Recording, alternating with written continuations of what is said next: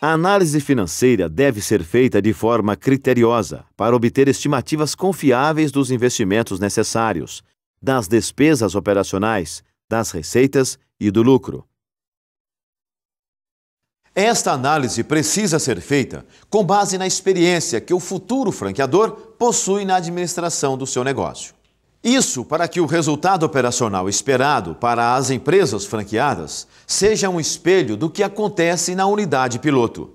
A montagem da unidade franqueada deve ter um projeto de arquitetura com um layout padrão bem definido, para que se possa avaliar seu custo com a melhor margem de precisão possível.